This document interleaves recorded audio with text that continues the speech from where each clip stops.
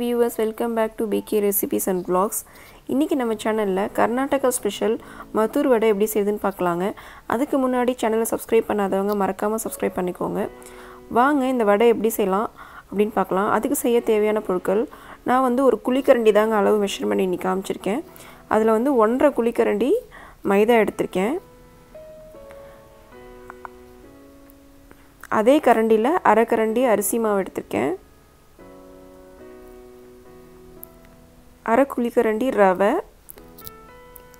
ரவை வறுக்கணும்னு அவசியம் இல்லைங்க. நார்மல் ரவை யூஸ் பண்ணிக்கலாம். அப்புறம் ஒரு டீஸ்பூன் இஞ்சி பொடியாக நறுக்கி வச்சுருக்கேன். ஒரு பச்சை மிளகா உங்கள் காரத்துக்கு தகுந்த மாதிரி போட்டுக்கோங்க. எனக்கு ஒன்று போதும். கொஞ்சமாக கருவேப்பிலையே பொடியாக நறுக்கி வச்சுருக்கேன்.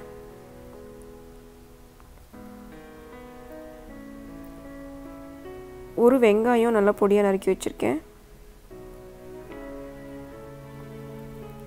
ஒரு டீஸ்பூன் எள் அப்புறமா இந்த வடைக்கு தேவையான அளவு நீங்கள் உப்பு போட்டுக்கோங்க. இந்த வடை வந்து நல்லாவே கிறிஸ்பியாகவும் ஃப்ளாட்டாகவும் இருக்கும்.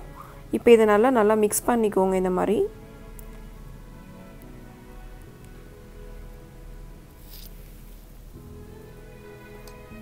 இந்த அளவுக்கு ஒரு ஆறு வடை சுட செய்ய முடியுங்க.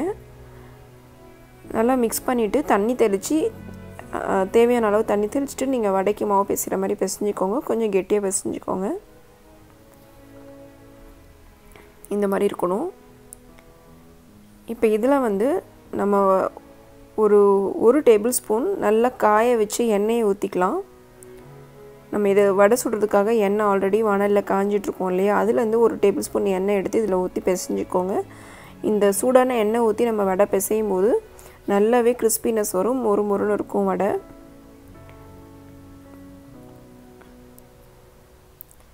இப்போ இதை சின்ன சின்ன பாலாக கையில் தட்டி கொஞ்சமாக எண்ணெய் தடவிட்டு நாம் வந்து வானலில் எண்ணெய் காய வச்சு இதை பொறிச்சு எடுக்க வேண்டியது தாங்க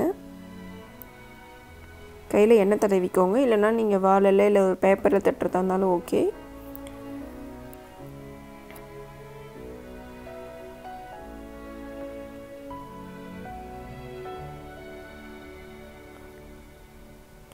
ஒரு நெல்லிக்காய் சைஸை எடுத்துகிட்டு நல்லா ஈவனாக இந்த மாதிரி ஃப்ளாட்டாக தட்டிட்டு போடுங்க.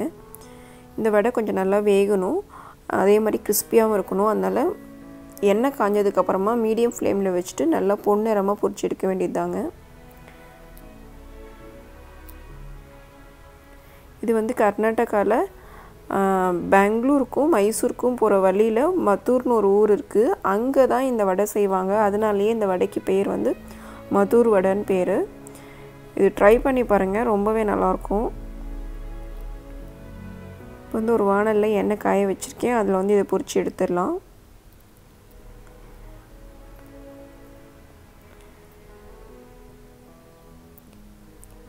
இந்த அளவுக்கு நான் முன்னவே சொன்ன மாதிரி ஆறு வடை தாங்க வரும்.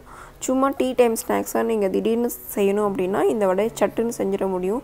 நம்ம இதே உளுந்து வடைனா நம்ம வந்து உளுந்து ஊற வச்சு அதுக்கப்புறம் செய்யணும். இந்த மாதிரி வடை செய்யும் போது உங்களுக்கு ஒரு பதினஞ்சு நிமிஷத்தில் இந்த வடை ரெடி ஆகிடும் உங்களுக்கு.